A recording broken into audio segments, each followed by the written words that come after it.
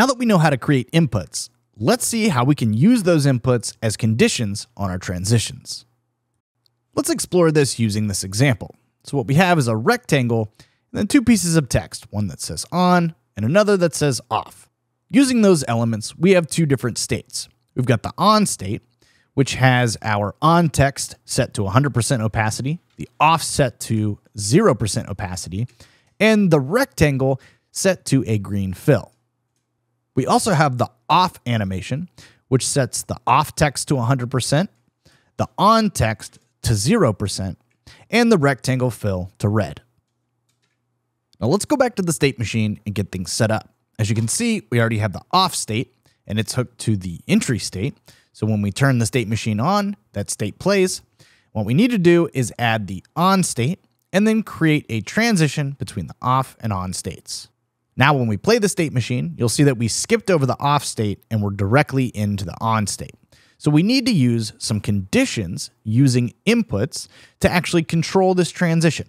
So let's go into the inputs panel and create a Boolean. And we're going to rename this Boolean and call it on. Now we want to set up this transition so that when on is true, we go to the on state. And when it's false, it stays in the off state. Let's select our transition and add the Boolean. So we can select the transition you'll see this little section here called conditions. This is where we can add a new condition and then add in our on Boolean. So you can see in this drop down, any of the inputs that we've created, so in this case, the on Boolean, will be selectable. So once we select that, we can now say whether or not we want it to happen when it's true or false. Now, in this case, we want it to happen when it's true. So what we have is that we're staying in the off state until the on Boolean is true, and then we'll go to the next state. So as you can see, we're sitting in the off state, and when we go and toggle on the Boolean, you'll see that our state will switch. Now what we're going to do is create an additional transition so that we can get from the on state back to the off state. So let's go ahead and create that second transition from the on to off state. Then we can open that transition up and once again add a new condition and we're going to use our on boolean again. But this time we're going to change the value from true to false so that it will go from the on state back to the off state when that boolean goes false.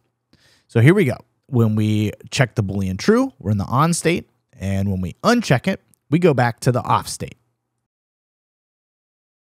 Now let's use some of the stuff that we've learned in previous videos and add some duration between the two transitions. Let's give it a value of 300 milliseconds so that we get some sort of ease between the two. And when we play the state machine again, you can see that it slowly transitions from one to the other. Instead of using a Boolean, we could have also used a trigger or a number. So let's do it with a number. Let's create a new number input. And when the number is zero, we'll be in off. And when it's one, we'll be in on. So let's go into the conditions and delete our on Boolean condition. And we can do that by either right clicking and using the delete option, or we could use Alt. And then let's go in and add the number input so that when our um, number is equal to one, we'll go to on. And then let's go back to the other transition and delete this condition. This time we can use the Alt button. And there you go. We can hit the X to get rid of it. Let's add in that number and make sure that when it's equal to zero, that we go back to the off state. Now, let's play our state machine and try this number out. So when we go to one, we go to the on state and when we go back to zero, we go back to the off state.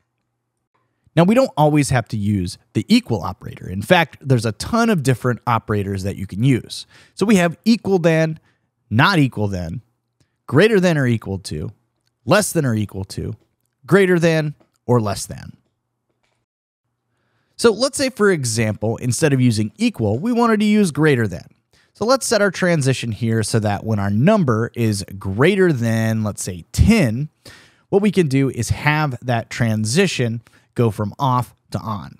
Now, when we play the state machine, we can enter in uh, 1, and you can see it doesn't change. But if we go to, let's say, 11, then our transition will happen. Now, let's go in and set up a trigger to cause these transitions. So let's add a new trigger and then rename it trigger on. And we can create another trigger. And this time we'll call this trigger trigger off. Now let's go into our transition and on the off to on transition, let's use a uh, trigger that we just created, the trigger on. And then on the other transition, let's get rid of this number input and use the trigger off condition. Now let's start the state machine and use our triggers.